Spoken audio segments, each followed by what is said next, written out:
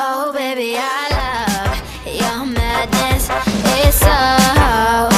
guys, and what's up? Welcome back to my YouTube channel, and it's me, Rainy V Gold. So, for those who are new here to my channel, don't forget to click the subscription box and turn on the notification bell to get notified to my videos. So, for those who are new here to my channel, don't forget to subscribe to be part of hashtag DavyFam. So, ngayon guys, ay naiisip ko na most of girls na ano, gusto na lang ano mag, malaman kung ano yung mga ginagamit ng mga cosmetics, products, ganyan.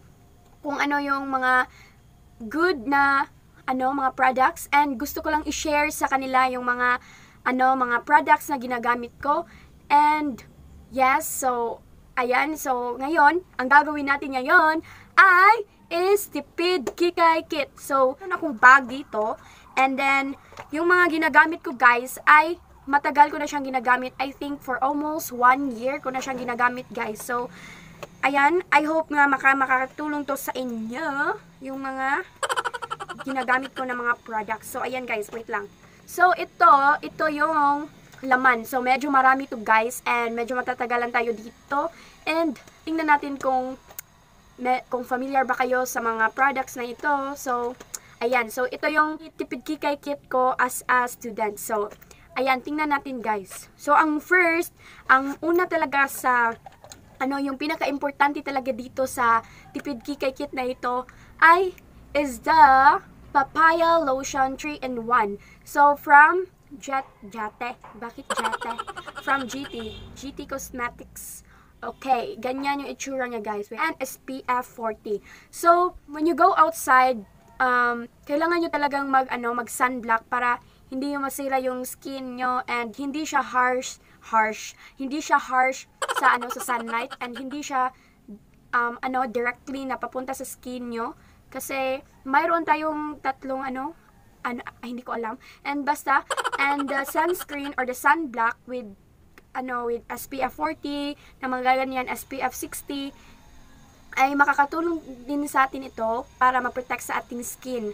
Para malayo tayo sa ano, skin cancer, ganyan. So, and also para hindi tayo mangitim, di ba? So, yan naman tayo. Yan, yun yung, ano, yung main reason natin kung mag-sunblock. And I think, ako lang talaga yun.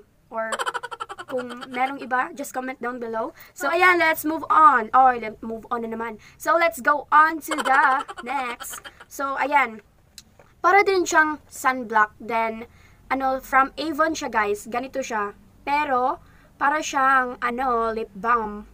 Para siyang lip balm. Ay, hindi parang. Lip balm nga. Ito. Ganyan yung itsura niya. So, Avon Care Sun Plus Protective Balm. So, very water resistant with high UVA and UVB. PA+++. Tatlong plus.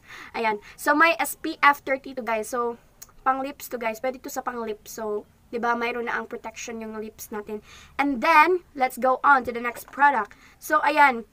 Pagkatapos kong mag-sunblock, and I use, anong, powder, pwedeng ganito kasi mayroon siyang oil control with sunscreen hypoallergenic pero hindi siya walang nakalagay kung ano yung kanya yung palitang SPF hindi nakalagay diyan ganito I think familiar kayo dito guys so pero kung ilalagay niyo to sa mukha guys ang puti talaga niya guys medyo maputi siya okay so ayan and also sometimes um, hindi ko siya ginagamit kasi parang ano mayroong hindi maganda yung grano, grano ba yung tawag dun sa pulbo.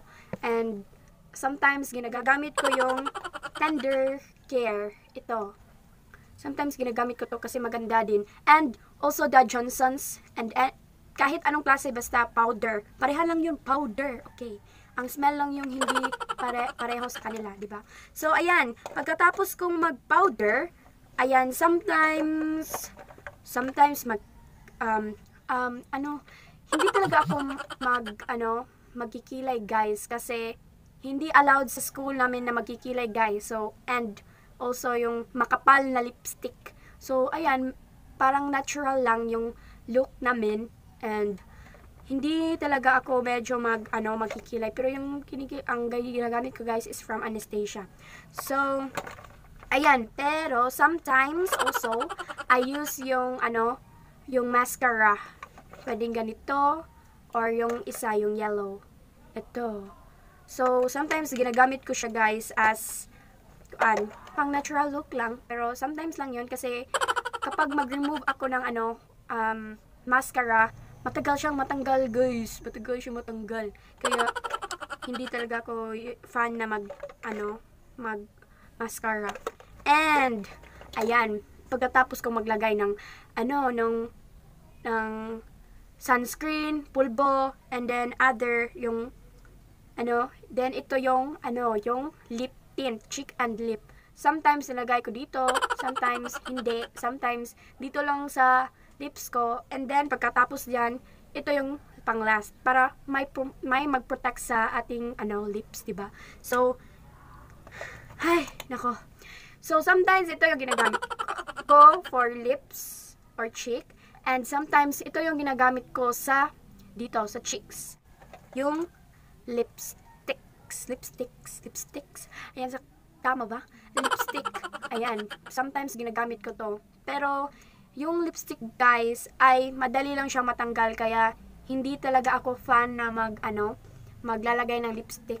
And it's better to use na, ano, lip tint. Pero, wag nang makapal, guys, kasi, baka, pagtatawanan kayo ng mga, ano, mga classmates niyo kapag sobra na talagang, you know, red, ano, I know, I don't know, pero maraming shade yung mga, ano, di ba, mga lip tint, ganyan. So, my suggestions lang guys, kay, na mas better to use na lip tints and para hindi madali matanggal. Okay, so, sometimes, mag, magka-makeup ako, pero hindi talaga ako mag-makeup sa school namin. I don't know why, pero hindi ko talaga fan na mag-makeup sa school. And hindi talaga ako mag-fan na ano, magkikilay, ganyan. Pero I'm not saying na you, you should stop. So, I'm just telling the truth na hindi talaga ako magme-makeup sa school. And, kuan lang, yung sim- simple look lang, ganyan. So, kasi medyo makapal na yung kilay ko eh, at hindi na, ano, hindi na, hindi na kailangan ng eyebrows para, no, lalagyan pa. Okay? So, sometimes, kung mag-makeup ako, mag-practice ng makeup, hindi sa school, kundi dito sa bahay namin, um, to remove the makeup, I use this Vaseline Original Petroleum Jelly. So, I use this one, guys. So, kung mag-remove ako, guys, kukuha lang, kukuha lang ako ng wet wipes and then lalagyan ko dito ano, sa mga parts na gusto kong i-erase or i-remove.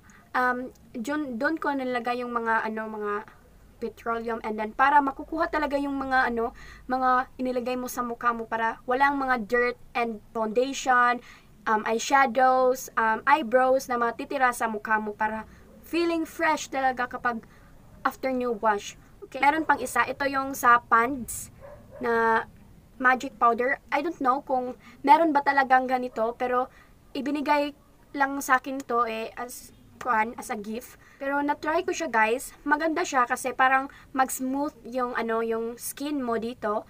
And pero hindi talaga akong lalabas ng naka-makeup guys. So natural lang talaga. Natural, natural. Natural, natural, natural. Oh. Okay. Pero maganda din ito guys. Maganda din siya. So, ayan guys, yun lang man yung mga um, tipid kikay kit ko guys. Hindi siya medyo marami kasi hindi ko hindi ko talaga fan na kapag lumabas ako, maka-makeup, and then ganyan, ganyan.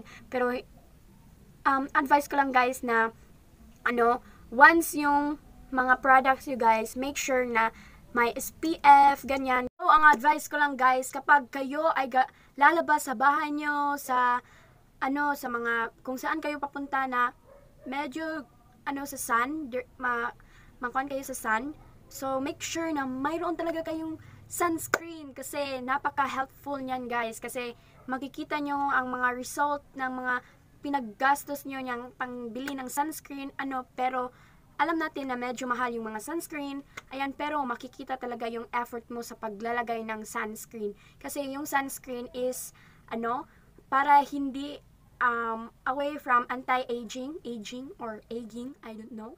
Ayan, kung paano pag-pronounce. I think aging, aging, ano. Ayan, para ma-prevent natin yan. So, makikita yung mga results kapag tatanda na tayo, di ba? So, ayan lang yung mga materi- ah, mga products ko na nasa tipid ki kay kit ko. Ayan, so I hope guys na nakatulong to sa inyo and I hope nga nabigyan kayo ng ano advice and mga ideas kung ano yung mga gusto na bilhin nyo ng mga products and make sure na trusted yung binili yung products and dermatologist tested. So, ayan lang guys. So, I hope guys you like this video and give it a thumbs up. Don't forget to like, share, and subscribe to my channel. Thank you for watching guys and bye-bye! See you in my next vlog! Mwah, mwah, mwah, mwah, mwah, mwah, mwah. Bye-bye! Oh, baby, I love your madness.